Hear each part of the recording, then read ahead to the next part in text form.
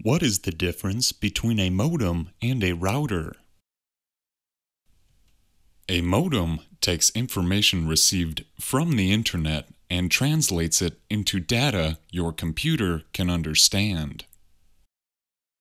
A router takes this translated information and distributes it to the computers throughout your home or office.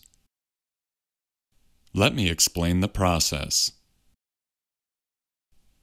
Information from the internet travels to your internet provider before being directed to your home through either a telephone cable or coaxial cable.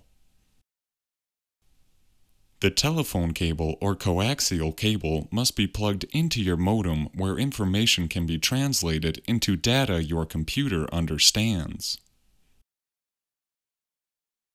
This translated data travels from the modem to the router via an Ethernet cable. If the router has wireless capabilities, it will broadcast this data throughout your home or office where it can be read by nearby computers.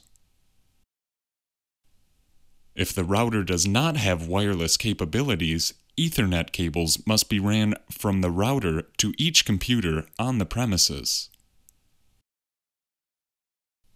Now, most internet providers provide their customers with a wireless modem router combo, which eliminates the need for two devices.